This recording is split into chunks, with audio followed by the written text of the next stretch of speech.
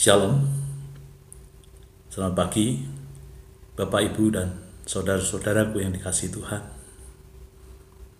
Sungguh saya bersyukur kalau pagi hari ini bisa menghampiri Bapak Ibu dan saudara-saudara lewat program Hikmat Pagi. Senantiasa saya berdoa agar kita semua diberikan kesehatan oleh Tuhan dan damai sejahtera Tuhan menaungi kita semua. Bapak, Ibu, dan Saudara yang dikasih Tuhan, sudah enam bulan lamanya kita tidak bisa berbakti bersama-sama di dalam rumah Tuhan. Ada satu kerinduan. Kapan? Kapan kita bisa datang ke rumah Tuhan berbakti bersama-sama?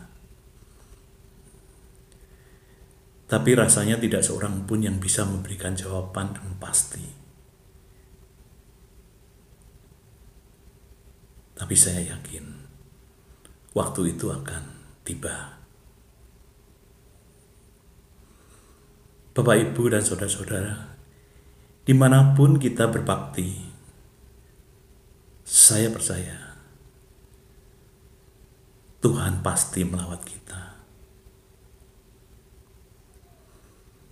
Pada kesempatan pagi hari ini saya ingin menyapa khususnya generasi muda, remaja dan pemuda.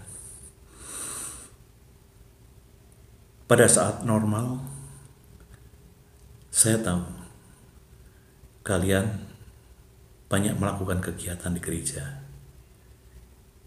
Banyak persekutuan dapat saudara lakukan. Macam-macam pelayanan dapat kalian lakukan. Tapi saat ini kalian harus ada di rumah.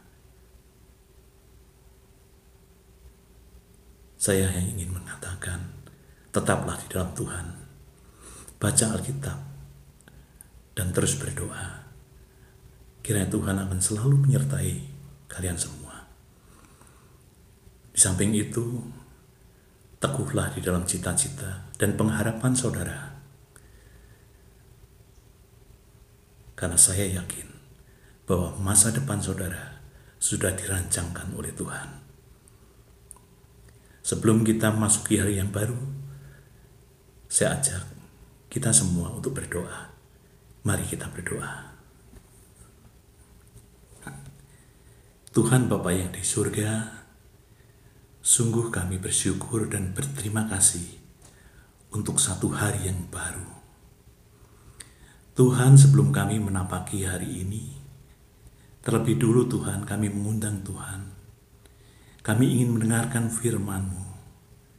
Biarlah firman-Mu boleh menjadi suluh bagi kehidupan kami. Kami membuka hati Tuhan untuk firman-Mu. Masuklah. Dan kami mohon untuk roh kudus Tuhan memampukan kami untuk mengerti dan boleh menjalankan firman-Mu. Demikianlah doa kami Tuhan. Doa ini kami alaskan hanya di dalam nama Tuhan Yesus, Juru Selamat kami yang hidup. Amin.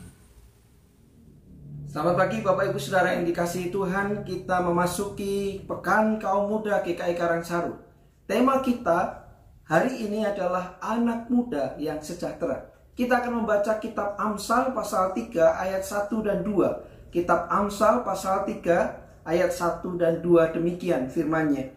Hai anakku, janganlah engkau melupakan ajaranku dan biarlah hatimu memelihara perintahku karena panjang umur dan lanjut usia serta sejahtera akan ditambahkannya kepadamu. Berbahagia setiap kita Bapak Ibu Saudara yang membaca, merenungkan, dan melakukan firman-Nya dalam hidup kita setiap hari. Haleluya. Bapak Ibu Saudara yang dikasih Tuhan, perkembangan dan percepatan dunia yang terjadi sekarang ini telah menghadirkan banyak perubahan dalam segala bidang, termasuk pilihan jenis pekerjaan seseorang.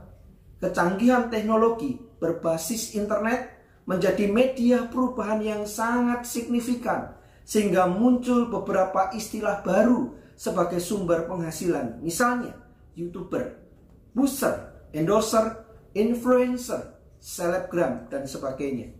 Istilah-istilah tersebut sangat dikenal oleh kalangan anak muda masa kini.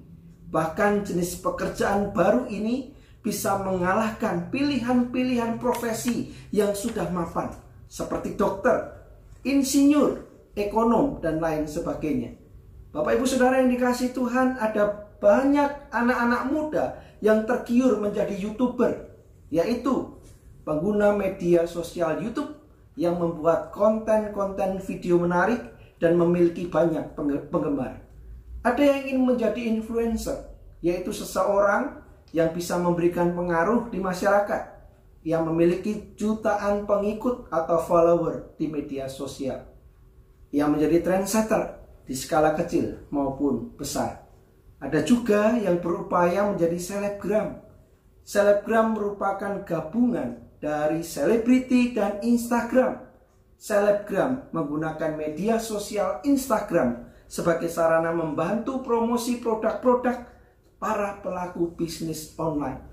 Bapak Ibu Saudara yang dikasih Tuhan, profesi-profesi baru ini sangat menjanjikan secara pengaruh dan penghasilan sehingga banyak peminatnya. Generasi muda Kristen tidak salah dan boleh juga menggeluti profesi baru yang sangat populer tersebut. Namun, mereka perlu memperhatikan nasihat Amsal pasal 3 ayat 1 sampai 2 yang kita baca.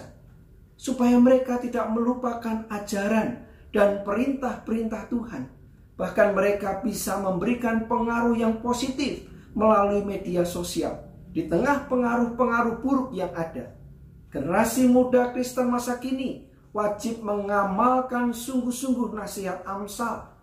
Mereka tidak hanya berfokus kepada orientasi bisnis serta kesenangan semata, melainkan mereka percaya bahwa Tuhan saja yang bisa memberikan sejahtera sejati.